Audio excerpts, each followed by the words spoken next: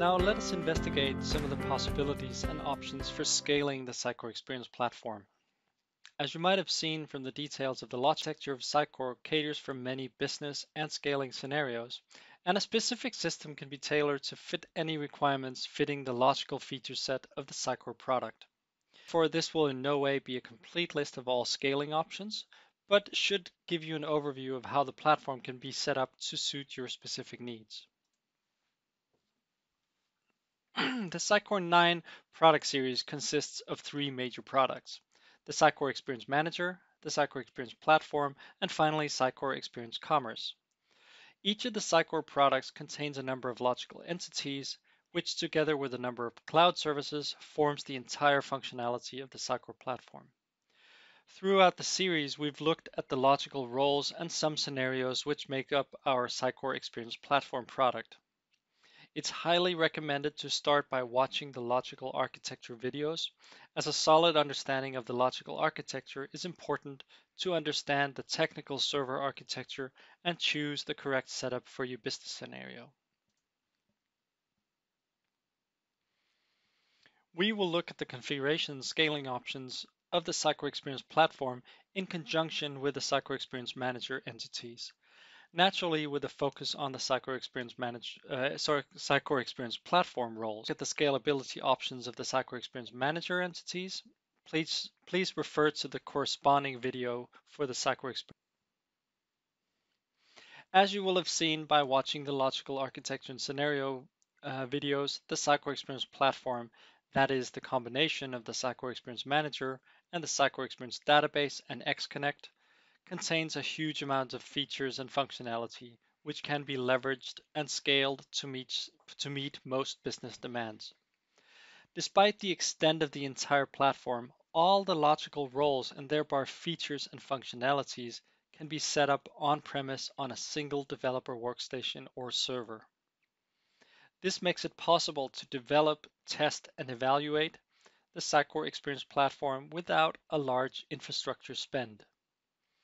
Please note that the two worker roles, the XConnect search indexer and the marketing automation engine are installed as Windows services in on-premise installations. This on-premise configuration is called XP, scale, uh, XP Single and is available as a download on dev.sitecore.net for on-premise or IaaS setups. The topology is configured as a set of web deploy packages or WDPs along with a configuration file for the Sitecore installation framework or SIF. Please refer to the Sitecore installation guide on how to set up the XP single configuration.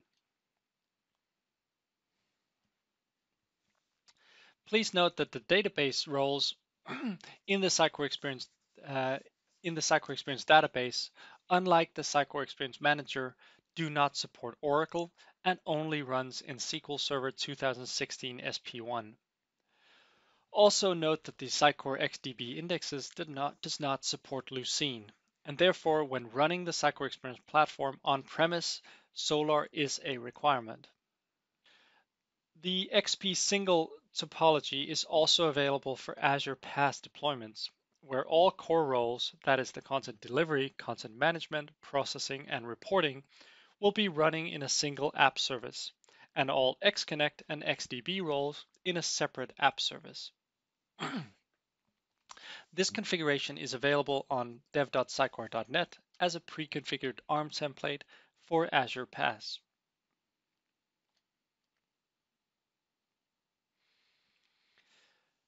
There's also a default scaled topology labeled XP Scaled, available for download both for on-premise and Azure PaaS deployments. for, Az for Azure installations illustrated here, the XP scaled ARM templates groups selected web roles on shared app service plans, thereby sharing resources between the grouped roles.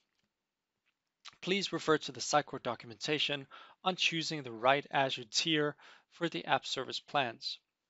Also, please consider when planning your installation to combine roles or regroup the application roles across app service plans in order to match the Azure resources for your business requirements. For on-premise installations illustrated here, the SIF configuration files separates the installation of all web roles out individually. But joining the two worker roles, the XConnect search indexer and the marketing automation engine, together with the XConnect collection search and the marketing op automation operations service. This configuration makes it possible to install roles across separate servers, as suggested in the shown diagram. the Sitecore Experience platform architecture caters for many business scenarios and offers enormous flexibility in deployments. It is important that you consider your, your requirements and resources available before planning out how to combine roles, roles in a single in single application pools grouping roles on single servers, or split up roles across servers. Therefore, the default XP scaled Sitecore installation framework uh, configurations is a good starting point for your specific deployment, tailored to your specific business needs. In your on-premise uh, setup, you could, for example, replicate the way the Azure ARM templates has grouped roles and thereby re reduce the number of server resources needed.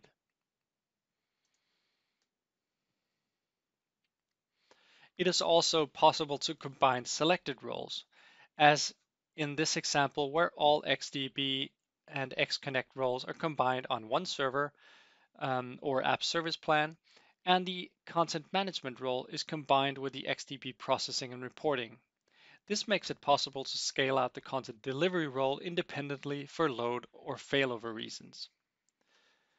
Please note that in scenarios where roles can be scaled out automatically, for example in Azure PaaS, it is generally recommended that you always have a dedicated server or service plan for the content management environment. This is due to the fact that the content management role requires additional config configuration and cannot be scaled out as easily as the processing and reporting service roles.